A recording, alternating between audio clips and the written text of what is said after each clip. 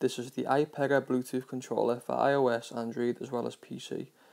It is the 9025 in its series.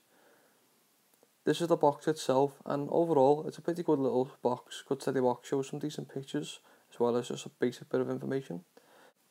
When opening the box you are greeted to the remote itself, a USB charger to obviously plug into your computer or USB port to charge, as well as the instruction manual itself just to show how to use the pad and how to set it up. The charger itself, pretty basic, I'm not going to take it out its packaging, I'll explain why later on in this review. And as well we've got the basic instruction manual. This controller cost me £15 and for what it is, it's well built. It comes with its A, B, X and Y buttons, as well as that on the bottom of the pad there's the um, pause, play, skip um, and volume up and down buttons. You've got the D-pad as well as the two analogs, home button, um, start and select, the little holder that the phone goes in, L1, R1 as well as L2 and R2 at the back of the pad. Um, the pad's like a rubbery plastic material as well so it feels nice to hold. The L2 and R2 though are a bit uncomfortable in the hand but I can see if you're using this for longer periods you'd get used to it. The D-pad is pretty strong.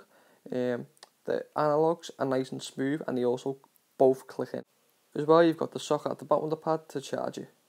There's different ways to connect this pad. For iOS, it, the basic connect is hold B and then hold the home. The uh, button will flash for a few seconds until it connects. It's Y and home for the Android and for PC, I think you've got to connect it manually.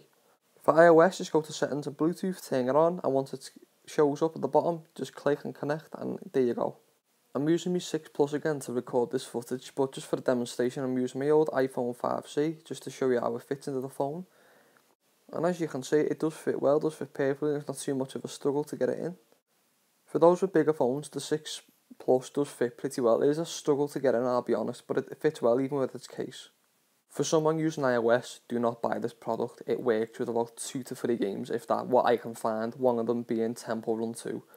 Uh, I've got games there, such as me VR games, that have gamepad use and Dead Trigger, and once connected, nothing, I cannot get it to work. The only way you will get this to work is if you download, if you emulate off your phone, which is something personally I do not want to do. So to me, the pad is useless. But for people with Android and PC, it works well and pretty much, especially on Android, around 80% to 70% of the games. So if you're willing to buy it, you can't go wrong there.